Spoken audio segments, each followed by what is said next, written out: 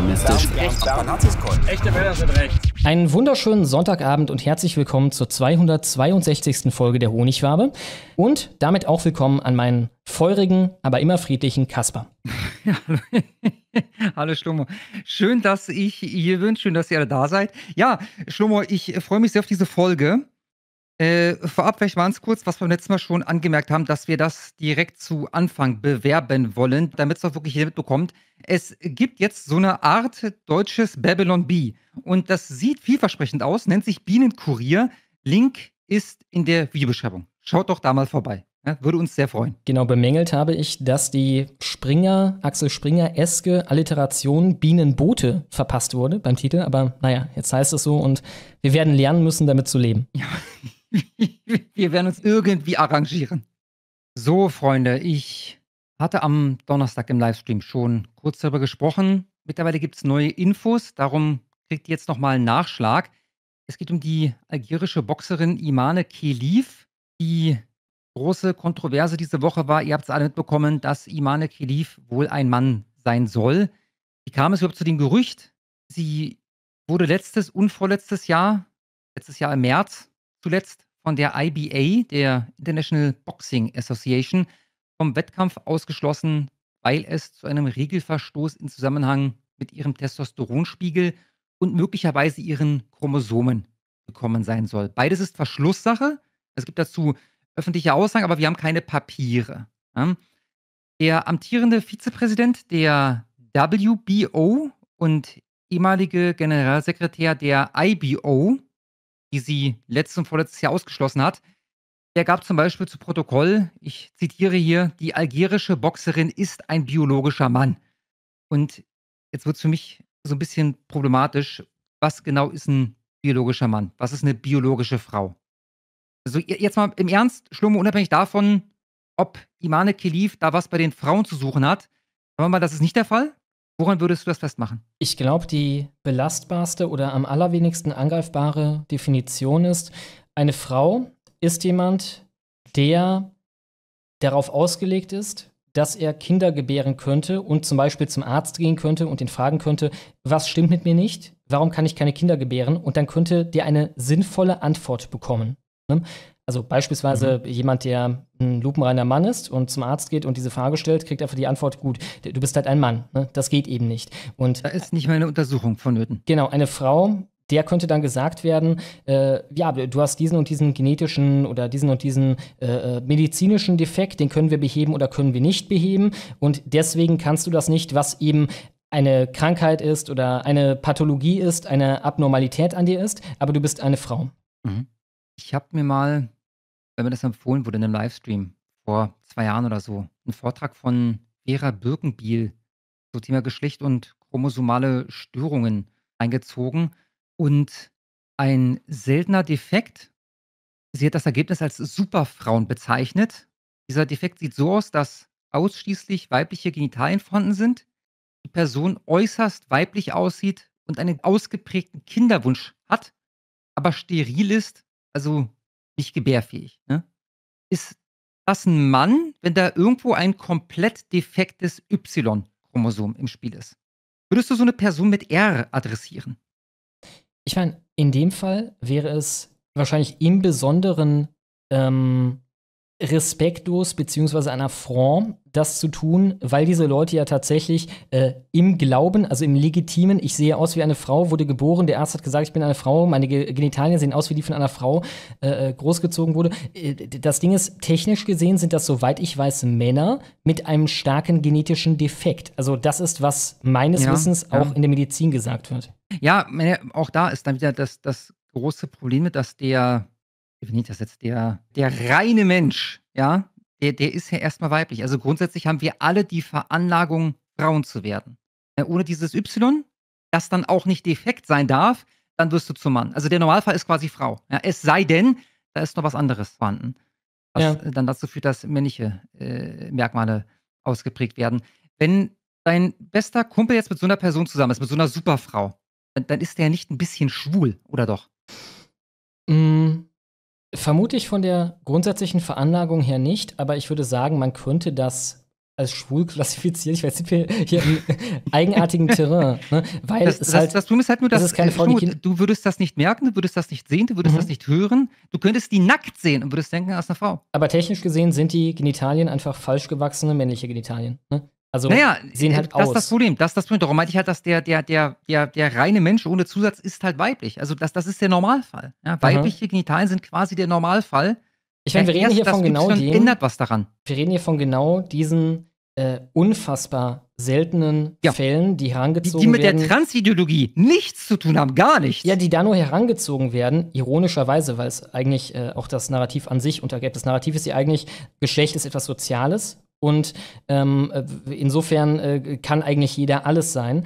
Aber es wird hereingezogen, um die Leute oder herangezogen, um die Leute erst einmal langsam daran zu führen, im Sinne von, das ist auch biologisch in seltensten Ausnahmefällen Mhm. manchmal nicht so klar. Also öffne dich mal für unsere generelle Logik. Ne? Äh, Ja. Aber damit Also, was- untergräbt was man ja eigentlich, also wenn man ergibt. das Also, überhaupt Du kannst, du kannst nicht mal so eine Superfrau werden durch eine Geschlechtsangleichung oder ähnliches. Du kannst Ja. so viele Hormone fressen, wie du willst. Also nicht mal so eine Superfrau kommt dabei raus. Ja, die immer noch ein defektes Y-Chromosom hat.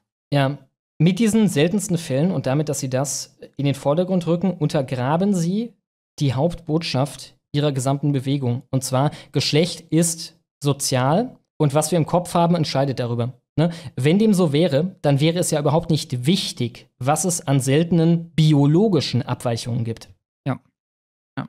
Gut, ich wollte auch hier nur etablieren, dass äh, ich denke, bei extrem seltenen Anomalien wird es schwierig mit dem Begriff biologische Frau. Also chromosomale Frau, chromosomaler Mann, okay, keine Frage. Aber heißt biologisch chromosomal? Und wenn ja, warum sagen wir das dann nicht? Na, ich würde also, ich würde die, die Definition, wie gesagt, da ziehen. Ähm, ist das jemand, der eigentlich in der Lage sein sollte, das andere Geschlecht zu befruchten, aber es wegen genetischem Fehler XY nicht ist? Oder ist das jemand, der eigentlich in der Lage sein sollte, Kinder auszutragen, aber es wegen genetischem Fehler XY nicht ist? Also Ja, das, ist, das wäre für mich genau da hast du, hast du bei der Superfrau echt Probleme. Soweit ich weiß, entwickelt die sogar eine verkümmerte äh, Gebärmutter. Mhm. Hat halt nie die Periode. Also das, das kommt dazu gar nicht erst, aber grundsätzlich, also die, die, Also eine nicht die funktionsfähige körperliche Gebärmutter? Veranlagung ist sehr viel näher daran dran, ein Kind zu gebären, als eins zu zeugen. Okay, ja gut, dann hättest du da gute Argumente dafür zu sagen, dass das deine Bei, Frau wie wäre. gesagt, extremst seltenen Ausnahmefällen. Interessant ja finde ich. Ich hoffe, ich Turner-Syndrom, Swire-Syndrom oder so, dazu kommen wir gleich. Es gibt da also bestimmt 20 verschiedene Syndrome und auch da ist bei den meisten ziemlich klar, was das eigentlich werden sollte. Bei dieser Superfrau, also dieser östrogenüberschäumenden, äh, augenscheinlichen Frau, die aber defekte oder ein defektes Y-Chromosom hat, da kommst du wahrscheinlich gleich eh zu, aber da ist meine erste Frage, das scheint ja hier nicht der Fall zu sein, denn das ist ja keine Superfrau, sondern das sieht halt aus wie ein Mann. ja, richtig, richtig. Also äh, äh, das ist da überhaupt nicht der Fall bei Imane Khelif. Ähm, es gibt aber einen naheliegenden Verdacht. Es ist bisher nicht öffentlich, was da los ist. Ja? Ich, ich kann hier nur äh, mutmaßen, äh, aber da gibt es so ein paar Hinweise. Und ähm, der Verdacht, der da vorliegt, ist äh, das sogenannte Swire-Syndrom. Dabei werden halt weitestgehend weibliche Ge- Genitalien ausgebildet, was nicht heißt, dass äh, sich nicht ein, ein Hoden im Inneren des Körpers befinden kann oder wohl auch außen sichtbar sein kann, je nachdem, ja. Äh, aber äh, im Großen und Ganzen werden da schon weibliche Genitalien gebildet. Eine Pubertät bleibt aber aus. Und als Beispiel, du müsstest gleich mal das nächste Bild zeigen, Brüste bilden sich bei Mädchen ja im Laufe der Pubertät. Wenn du jetzt das nächste Bild siehst, äh, einblendest, wo man beide sehen kann, übrigens, mir tut die Bildqualität leid, das ist die beste Aufnahme, die ich finden konnte, die das mal verdeutlicht, ja, siehst du, dass äh, Khelif absolut keine Brüste hat. So die Konkurrentin aber sehr wohl. Also Ja. ja, äh, Athletinnen, die haben natürlich einen geringeren Het äh, Körperfettanteil als die äh, gemeine Frau auf der Straße, aber trotzdem haben ja äh, auch Kampfsportlerinnen in der Regel zumindest einen Ansatz von Brüsten. Ja, bei Kelife ist da gar nichts. Was Und mich das könnte darauf hindeuten, dass äh, eine Pubertät nicht stattgefunden hat, obwohl die also äh, deutlich volljährig ist. Es scheint aber eine in die andere Richtung stattgefunden zu haben, ne? was ich dann komisch finde. Also Enz sieht so aus wie jemand, der eine männliche Pubertät durchgemacht hat, von dem Körperbau her. Ne? Auch von den Gesichtszügen Ja. her. Ja, das sind ja keine so, ja. jungen Die Gesichtszüge. Das Ja. sind Männergesichtszüge. Ähm, ich möchte das noch kurz ergänzen mit einer interessanten Stellungnahme des Olympischen Komitees. Ähm, das stützt meine Vermutung. Ähm, also bei diesem Swire-Syndrom handelt es sich um ein sogenanntes äh, Differences in Sexual Development Problem. Ja, zu Deutsch Varianten der Geschlechtsentwicklung, also Anomalien letztendlich. Und das Olympische Komitee hat gestern auf äh, Twitter Folgendes gepostet. Heute sagte der IOC, der Präsident des Internationalen Olympischen Komitees, Zitat, aber ich wiederhole, hier geht es nicht um einen DSD-Fall, also zum Beispiel Swire-Syndrom, sondern um eine Frau, die an einem Frauenwettbewerb teilnimmt. Und ich denke, ich habe das schon oft erklärt. Das Ding ist, Zitat Ende. An diesen Worten kann man ja jetzt überhaupt nichts mehr festmachen, weil es wurde Doch. uns tausendmal von selber Lass Stelle erklärt. Ja. Nein, vertrau mir. Das sagte er. Zitat Ende. Was gemeint war, Doppelpunkt. Sie, Sie korrigieren die Aussage vom Vortag. Was so. gemeint war, Doppelpunkt. Aber ich wiederhole, hier geht es nicht um einen Transgender-Fall, sondern um eine Frau, die an einem Frauenwettbewerb teilnimmt. Und ich denke, ich habe das schon oft erklärt. Also in anderen Worten, es geht eben doch um einen DSD-Fall, also einen Fall einer Geschlechtsentwicklungsanomalie. Sonst müsste man die Aussage nicht korrigieren und das DSD rausstreichen. Aha. Ja? Ich verstehe. Irgendwas, was für Kelif einen Vorteil bietet, ist da also los. Man will uns aber offensichtlich nicht sagen, was das ist. Es gab ja auch Gut, das Video, also ich weiß jetzt nicht, wie belastbar das ist. Das hast du sicher gesehen, ne, auf Twitter, wo es so aussah, als wenn da halt was am Rumschwängeln wäre. Also ich, ich meine, ein Video gesehen zu haben, wo Enz sich die Eier zurechtdrückt. Genau. Ja, und das sah auch so aus, als wenn da etwas zum Zurechtrücken wäre. Ja, ja, ja, klar, ja, ja, das sah so ein bisschen so aus. Man, jetzt ist immer schwierig bei so einer kurzen Sequenz, aber, aber ja, also ich will jetzt. Kann auch der Tiefschuss gewesen sein. Also ich bin mir jetzt nicht sicher, inwiefern Frauen beim Wettkampf, du hast da noch ein Bild, da sieht man dann noch sie in einem Tiefschutz, ja. Ihre Gegnerin allerdings nicht. Das ist natürlich auch merkwürdig. Ich bin im Frauenboxen jetzt nicht sonderlich äh, bewandert. Ich meine aber, dass das ist eher ungewöhnlich. Also, was soll denn da geschützt werden? Ja. Bei, bei, bei, beim Kickboxen, klar, da kannst du einen Tritter bekommen, der geht dann aus Versehen in die Eier, aber wie häufig passiert das, dass du äh, beim Boxen jemanden in die Eier haust. Und zwar so sehr, dass selbst eine Frau davor geschützt werden muss. Also, wenn du einer Frau aufs Schambein haust, mit, mit der blanken Faust, sagen wir mal, dann tut das tendenziell wahrscheinlich hier genauso wie, wie ihr. Also, du musst wirklich schon von unten reinboxen, da, damit das wehtut. Ja. Um, um ist halt Knochen. Also Eier sind da nicht vorhanden. Ich sage jetzt nicht, dass es unbedingt so ist, aber ich halte es für im Rahmen des Möglichen, dass man hier nur gegaslightet wird und dass wir es hier eben doch mit irgendeinem Transfall zu tun haben. Also möglich. Nee, nee, nee, nein, nein ausgeschlossen. Ja? Ausgeschlossen, ausgeschlossen. Ja, ja. Wir haben, es gibt, habe ich jetzt hier nicht drin, aber das haben wir uns am, am Donnerstag im Livestream angeguckt. Es gibt äh, mehrere Bilder mittlerweile von der Kindheit von äh, Kelif.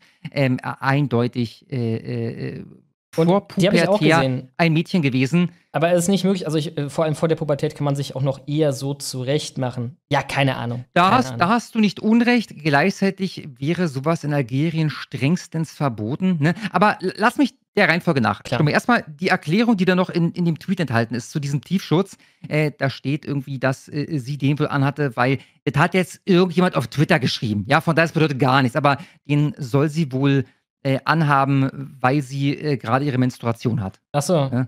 Ja, ich meine, Frauen laufen ständig so rum, wenn die gerade menstruieren. Ne? Also. Ja, also auch da ist, ist, dann, ist dann die Gefahr höher, dass ein Schlag äh, aufs Schambein wehtut. Ich, ich, ich weiß nicht so ganz. Ja. Das ist die Ultra-Maxi-Maxi-Maxi-Binde. Ja, um, um sicher zu gehen. Ja. Äh, gleichzeitig sind Frauen mit einer dieser zahlreichen Geschlechtsentwicklungsstörungen nach meinem Kenntnisstand immer steril und haben daher gar keine Periode. Kurz gefasst, da passt einfach vieles nicht zusammen. Hast du von der Geburtsurkunde gehört? Nee. Ähm, okay, jetzt hat das Thema mit ihrer möglichen Männlichkeit natürlich international die Runde gemacht und dann scheint sich der Vater genötigt gesehen zu haben, die Geburtsurkunde seiner Tochter zu präsentieren. Was absolut gar nichts beweist. Die seriöse Debatte, die findet ja nicht da statt, wo behauptet wird, dass Imane ein Transgender ist, sondern da, wo bezweifelt wird, dass sie, dass sie XX-Chromosomen hat. Das heißt, ein Wangenabstrich und ein kurzer Test, ich meine, das wäre in 48 Stunden machbar, ja, würde die Leute ein für alle Mal zum Schweigen bringen. Mhm. Also, was wir brauchen, ist ein Stück Papier, auf dem steht, Labor XY muss ein seriöses Labor sein, kommt zum Ergebnis XX-Chromosomen. Diskussion beendet. Was soll denn die Geburtsurkunde bedeuten? Also, die könnte man fälschen, die könnte man, das könnte damals schon Fehler gewesen sein. Das könnte sein, dass die äh, algerischen Behörden damals von, von diesem äh, äh Gendefekt gar nichts wussten und gesagt haben, na, sieht weitestgehend weiblich aus, ist ein Mädchen. Weißt du, es bedeutet gar nichts. Stattdessen äh, präsentiert uns das halt, um, um irgendwas zu beweisen. Ja? Gut. Und inwiefern ähm, sagt er die Unwahrheit, wie hier getitelt wird? Ja, pass auf. Also das macht die Sache dann noch schlimmer. Ja? Nicht nur würde das nichts beweisen, selbst wenn das alles äh, zweifellos korrekte Papiere wären, äh, es, es wird schlimmer. Ja? Ich lese mal vor. Pelivs Vater hatte dieses Dokument in die Kamera von TV-Reportern gehalten und wörtlich gesagt, dies ist unser offizielles Familiendokument. 2. Mai 1999 weiblich. Dieses Dokument lügt nicht. Es wurde im Jahr 1999 registriert. Die Menschen, die lügen und eine Kampagne gegen Imane führen, sind die Feinde Gottes. Dieses Dokument wurde 1999 geschrieben, als sie geboren wurde. Zitat Ende. Diese weiter. Der Vater von Imane Kelif sagt also eindeutig und ausdrücklich, dass es sich um ein 1999 ausgestelltes Originaldokument handelt. Nochmal Zitat, es wurde 1999 geschrieben, als sie geboren wurde. News hat dieses Dokument von Imane Kelif, das der Vater selbst als 1999 ausgestelltes Familiendokument beschreibt, ausgewertet. Tatsächlich steht dort das Geburtsjahr 1999, wobei der Geburtstag in arabischer Handschrift nicht genau zu entziffern ist. Aber, und das könnte die Sportwelt erschüttern, offenbar wurde die Geburtsurkunde eben nicht im Jahr 1999 ausgestellt, wie der Vater im Video ausdrücklich behauptet, sondern erst viele Jahre später. In der Rubrik Ausstellungsdatum steht 2018-04-01. Was? 2018? Also rund 19 Jahre nach der Geburt von Imane Kelif. Auch ein Stempel ist auf dem Dokument zu sehen. Auch dort im roten Stempel ist klar das Jahr 2018 erkennbar, wenn auch spiegelverkehrt. Das Dokument, das der Vater in die Kamera zeigt, belegt, offenbar wurde Imane Kelif erst im Jahr 2018 amtlich zur Frau erklärt, pünktlich zum Beginn der Boxkarriere. Tja. Ja, Zufälle gibt's. Es stinkt für mich zum Himmel. Ich weiß nicht, was ja. da los ist, aber irgendwas ist da los. Ja, auch, also, also die Kinderfotos, die du erwähnt hast. Wenn du einen Jungen zurechtmachst als Mädchen, dann sieht er in der Regel überzeugender aus als ein Erwachsenen. Und genau das ist auch bei Enz der Fall. Also Enz als Kind mit halt, keine Ahnung, Zöpfchen oder langen Haaren und äh, geschminkt ja, und Kleidchen, ja. sieht mehr aus wie ein Mädchen als Enz jetzt als angeblich erwachsene Frau. Die Pubertät äh, scheint ich, eher. Ich stimme dir zu, ich stimme dir zu. Die, die Frage ist nicht die, also ist das wirklich möglich mit einem Kind, was im Jahr 1999 geboren wurde, also nehmen wir jetzt mal an das Geburtsdatum stimmt, äh, in Algerien, wo das strengstens verboten ist? Also, die, die, du siehst den Vater, glaube ich, auf dem Bild mit seinem Edeka, äh, Edeka, äh, ähm, äh, ja. ähm, äh, was ist das? Ein, ein äh, T-Shirt? Polo-Shirt, genau. Ja. Ähm, also, das ist keine Familie, die, die in, im Palast wohnt oder so. Ja, und, und die ziehen das dann durch und weiß nicht, äh, bestechen die entsprechenden Stellen und so und ziehen da einen Jungen als Mädchen groß, in der Hoffnung, daraus dann eine Boxerin zu machen? Ich habe keine ich meine, Ahnung. Was, was kann man sagen? Ähm, man kann sagen, dass ich meine Eier darauf verwetten würde, dass Imane Kelif eine Geschlechtsentwicklungsstörung hat und eigentlich ein Mann werden sollte. Ne, das hat aber nicht geklappt. Das ist ja auch kein Problem. Die Frage ist aber, ob jemand, der durch einen derartigen Gendefekten Vorteil im Wettkampf hat, bei den Frauen mitmachen sollte. Ja, ich würde an der Stelle einfach mal, ne, macht jetzt wenig Sinn, sollte sie bei den Frauen mitmachen. Ich mache mal trotzdem eine Umfrage. Ja? Ich meine, wenn, dann müsste man erstmal überhaupt feststellen, was ENS ist. Ne? Also wir haben ja keine Faktengrundlage und ich denke nicht, ja. das liegt daran, dass die Fakten in eine Richtung gehen, die das Ganze koscherer aussehen lassen. So ist es, klar. Auch das, meine, ich habe das zwar nicht ausgeführt. Ähm, die IBO, die hat ja gesagt, da ist was. Ja, da, da ist was. Also irgendwas ist da. Und das Olympische Komitee sagt, nee, das ist für uns eine Frau. Und fertig ist. Ähm, jetzt wurde die International Boxing IBA, Verzeihung, warte mal kurz. Nee, doch, IBO, Organization. Ähm, äh, dahingehend diffamiert, dass die irgendwie äh, Putin nah wäre und der, ähm, der ehemalige Präsident, keine Ahnung, Mann, schon mal mit Orban Kaffee getrunken hat oder so ein Scheiß.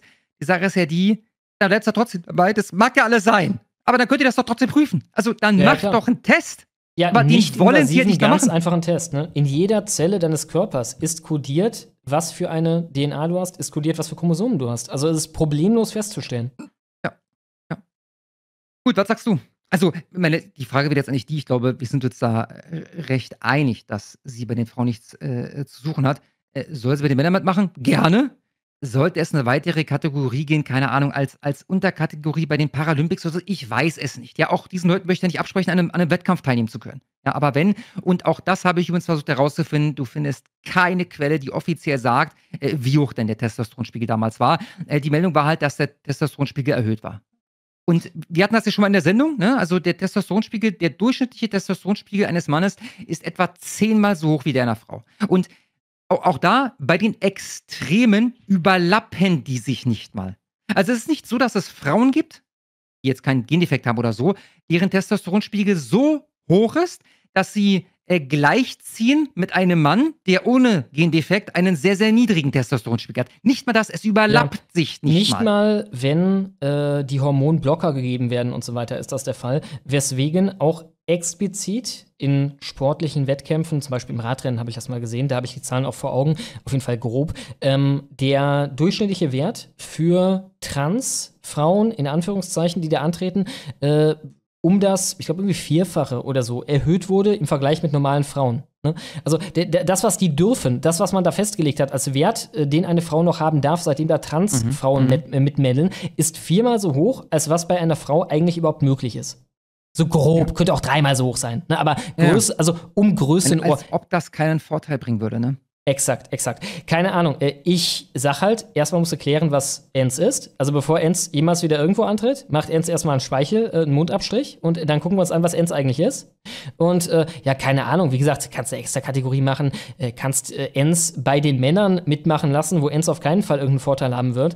Ähm, nee. Aber ich schätze halt auch, also wie gesagt, Worst Case könnte es sein, dass es ein Beschiss von Anfang bis Ende ist. Ich denke halt eher, es wird schlimmer sein, als am Ende kleben bleibt an Geschmack in unserem Mund Grund, einfach weil einfach einzuholende Informationen uns nicht gegeben werden. Ja. Das heißt, die werden nicht ja. in die Richtung aussehen, das denke ich dass es harmlos Also, ist. wenn das doch alles gar kein Problem ist, wenn das eine Frau ist, egal was, weil in ihrer Geburtsurkunde steht ja Frau und sie identifiziert sich als Frau, dann können wir doch einen Gentest machen.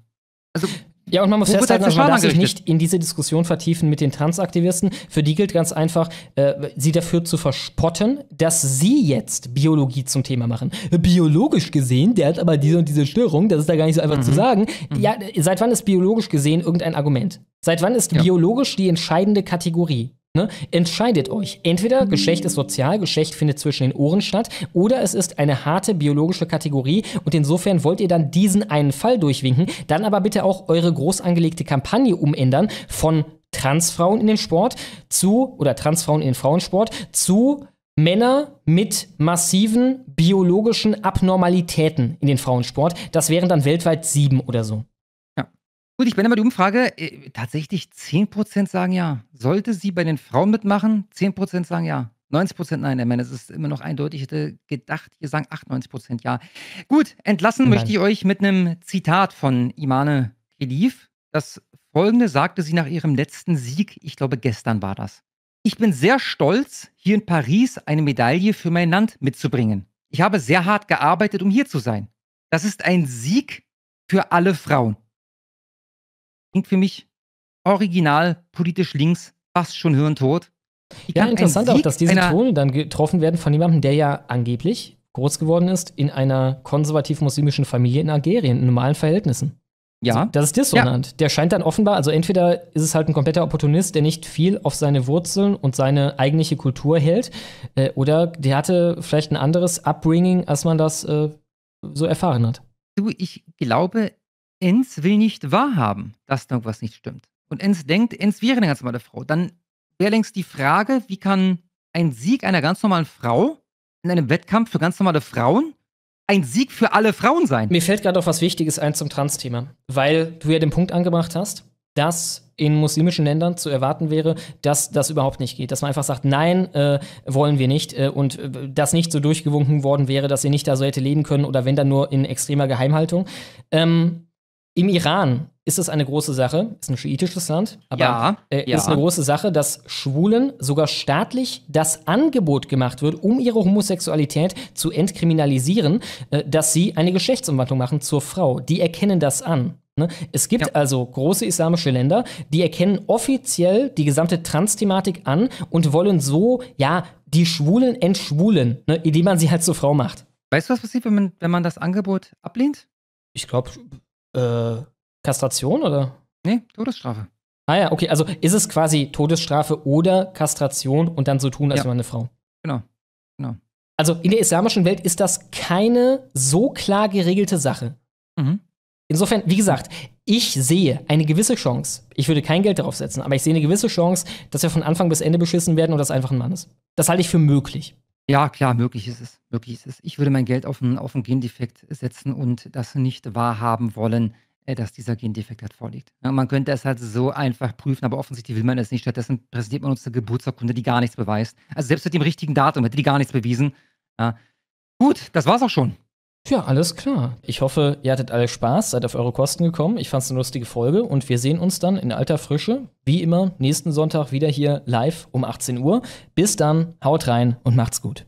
Ciao, ciao.